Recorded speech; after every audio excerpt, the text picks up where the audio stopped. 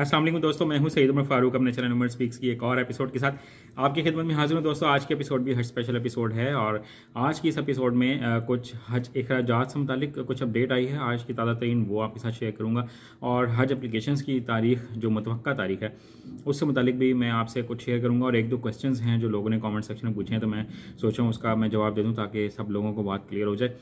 But video start करने से पहले आपसे सिर्फ़ इतनी सी रिक्वेस्ट है कि अगर आप हज और उम्र से रिलेटेड लेटेस्ट इन्फॉर्मेशन से वाकिफ रहना चाहते हैं तो नीचे दिए गए सब्सक्राइब के बटन पर अभी क्लिक कर लें, क्योंकि इसके लिए आपको बिल्कुल कोई इंतज़ार नहीं करना पड़ेगा। ये तो दोस्तों, बात कर लेते हैं कि जनाब, सबसे पहले कि ये जो हज एक्सपेंसेस हैं, वो कहाँ तक पहुँच रहे हैं? तो गवर्नमेंट के लिए ये दर्द सर बना हुआ है, क्योंकि जो एयरलाइन टिकट्स हैं यानी कि जो एयरलाइन कंपनीज़ हैं, वो अभी तक भी रेट फाइनल नहीं करके दे रही कि हज कि वो कितने की रिटर्न टिकट देंगे, यानी कि जाने का भी और आने का भी। तो क्योंकि पाकिस्तान में इतनी अनसर्टेनिटी है कि पता नहीं लग रहा कि डॉलर कहाँ जाके रुकेगा रियल कहाँ जाके रुकेगा, कभी नीचे आया था, कभी ऊपर। तो उसकी वजह से जो एयरलाइन कंपनीज़ हैं, वो भी हेजिटेट कर रही हैं और हज एक्सपेंसेस बढ़ भी सकते हैं और डिक्रीज़ भी हो सकते हैं। तो जो पाकिस्तान की जो हज मिनिस्ट्री है और उनके जो वज़ीर हैं, मुफ्ती अब्दुल शकूर साहब, उन्होंने एक स्टेप लिया है, उन्होंने कहा है, हज जो डीजी हज हैं, उनको ये कहा है कि आप हर हाल में पचास हज़ार कम करें और जो साढ़े दस लाख तक हज के एक्सपेंसेस हैं, वो लेके आएँ। ये दस लाख अठानवे हज़ार का जो पैकेज है, वो बहुत ज़्यादा एक्सपेंसिव है, लोग बहुत ज़्यादा क्रिटिसाइज़ कर रहे हैं। तो उसकी वजह से अब जो पाकिस्तान की जो मिनिस्ट्री है, वो कोशिश कर रही है कि हज के एक्सपेंसेस हम किसी न किसी तरह कुछ पचास हज़ार मज़ीद कम करके ले आएँ, ताकि लोगों को कुछ ना कुछ फ़ायदा हो सके। फिर जो हज की जो मुतव तारीख थी, वो जनाब 24 फरवरी थी। जो मैं आपको पहले भी बता चुका था कि फरवरी के लास्ट वीक में एप्लीकेशन स्टार्ट हो जाएँगी बट वो अभी डिले हो गई है और इसकी रीज़न जो है वो यही है कि हम आईएमएफ से भी अभी तक मुजाकर में चल रहे हैं और उनसे भी हमारी कोई डील फाइनल नहीं हुई।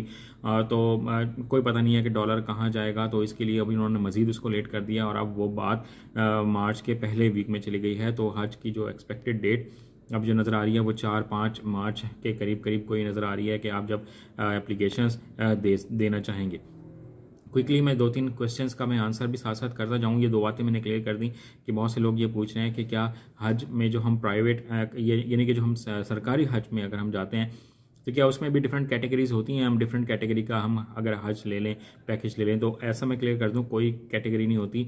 सेम कैटेगरी होगी, जो लोग भी जितने भी अमाउंट पे करेंगे, यानी कि जितने भी हज एक्सपेंसेस बताए जाएँगे, उन सबको सेम कैटेगरी में और एक ही जगह रखा जाएगा। मुख्तलिफ़ होटल्स हो सकते हैं। बहुत से लोग ये पूछ रहे हैं कि यार होटल कहाँ होता है? तो जो ज़्यादातर है, वो अजीज़िया में होटल लिया जाता है, क्योंकि वहाँ मुनासिब में मिल जाते हैं और अच्छे होटल भी मिल जाते हैं और वहाँ पर पाकिस्तानी रेस्टोरेंट्स भी और इस तरह के छोटे मोटे होटल हैं, वो भी मिल जाते हैं। वो थोड़ा सा दूर ज़रूर होता है बट लोगों को पहुँचने में इतनी मुश्किल मुश्किल नहीं होती क्योंकि शटल सर्विस हर वक्त अवेलेबल होती है।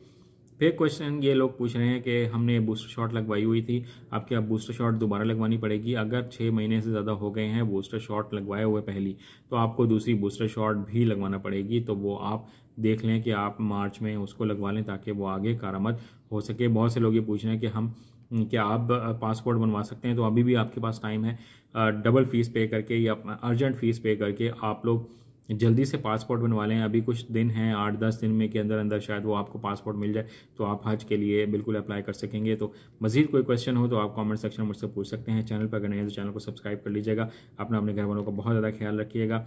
हज पर जाएँ तो मुझे अपनी दुआ में याद रखिएगा। अल्लाह हाफिज़।